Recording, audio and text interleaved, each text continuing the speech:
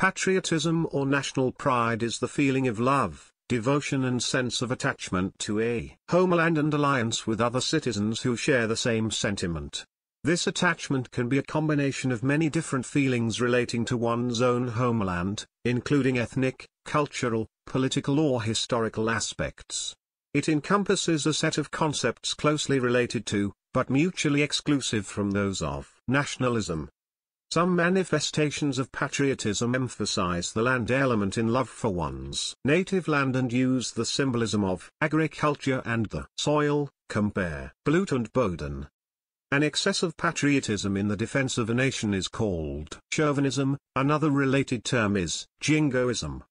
The English term patriot is first attested in the Elizabethan era, it came via Middle French from late Latin, 6th century, patriota, meaning countryman, ultimately from Greek, modern pi alpha tau rho iota tau eta sigma, patriot, meaning from the same country, from pi alpha tau rho sigma, patri, meaning fatherland.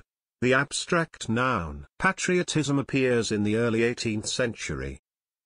The general notion of civic virtue and group dedication has been attested in culture globally throughout the historical period. For the Enlightenment thinkers of 18th century Europe, loyalty to the state was chiefly considered in contrast to loyalty to the church. It was argued that clerics should not be allowed to teach in public schools since their patrie was heaven, so that they could not inspire love of the homeland in their students. One of the most influential proponents of this classical notion of patriotism was Jean-Jacques Rousseau. Enlightenment thinkers also criticized what they saw as the excess of patriotism. In 1774, Samuel Johnson published The Patriot, a critique of what he viewed as false patriotism. On the evening of the 7th of April 1775, he made the famous statement, Patriotism is the last refuge of the scoundrel. James Boswell, who reported this comment in his Life of Johnson, does not provide context for the quote, and it has therefore been argued that Johnson was in fact attacking the false use of the term patriotism by contemporaries such as John Stuart, 3rd Earl of Bute, the Patriot Minister, and his supporters, Johnson spoke elsewhere in favor of what he considered true patriotism.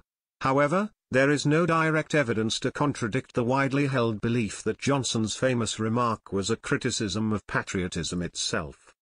Patriotism may be strengthened by adherence to a national religion, a civil religion or even a theocracy.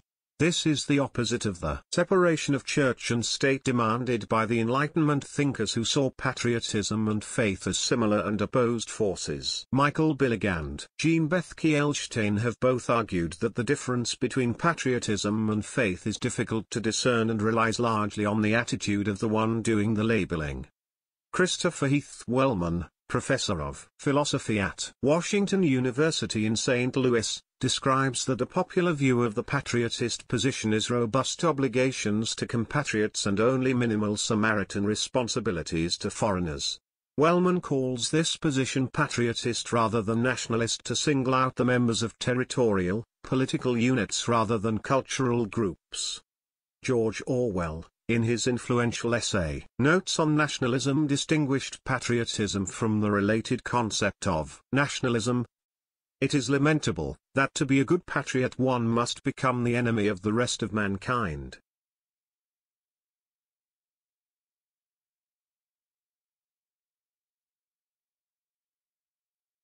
Marxists have taken various stances regarding patriotism. On one hand, Karl Marx famously stated that the working men have no country and that the supremacy of the proletariat will cause them, national differences, to vanish still faster. The same view is promoted by present-day Trotskyists such as Alan Woods, who is in favor of tearing down all frontiers and creating a socialist world commonwealth. On the other hand, Stalinists and Maoists are usually in favor of socialist patriotism based on the theory of socialism in one country. In the European Union, thinkers such as Jürgen Habermas have advocated a Europatriotism, but patriotism in Europe is usually directed at the nation-state and more often than not coincides with Euroscepticism. Several surveys have tried to measure patriotism for various reasons, such as the Correlates of War project which found some correlation between war propensity and patriotism. The results from different studies are time-dependent. For example, patriotism in Germany before World War I ranked at or near the top, whereas today it ranks at or near the bottom of patriotism surveys.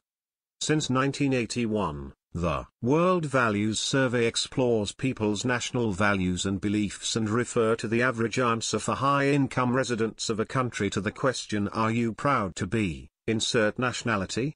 It ranges from 1, not proud, to 4, very proud.